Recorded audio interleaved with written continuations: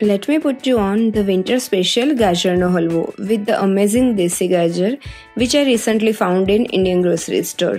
Holi is around the corner so I thought to make this switch before desi gajar disappear from the market. Wash and grate your carrots. Heat a tablespoon of desi ghee in a kadai. Add your grated carrots and saute well. Saute for around 15 minutes. Cover in between for a few minutes and continue stirring it.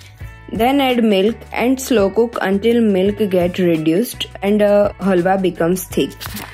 This recipe doesn't call for any mawa or milk powder. Desi red carrots enhance the taste of halwa. Add chopped nuts of your choice and cardamom to enhance the flavor. I have added brown sugar here, but you can add white too. Mix sugar well, turn off the heat and enjoy it hot.